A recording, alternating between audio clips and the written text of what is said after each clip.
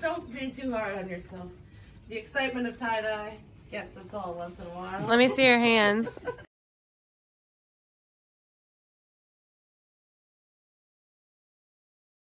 Tie, the best color of all.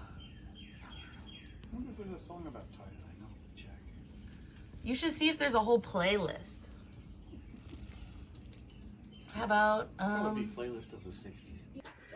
Now to you, Kelsey, on site. today in Anvil we're tie dyeing a variety of items in a variety of ways. I'm here with Farna Farhi and she's attempting to tie dye her dress entirely black, which is not exactly tie dye, very original. Go on, show us how it's going. it's not going well.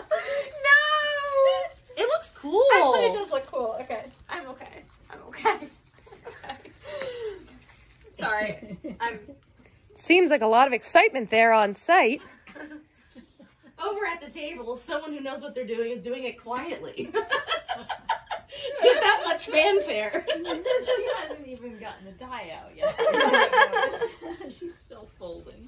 She's so- That's what.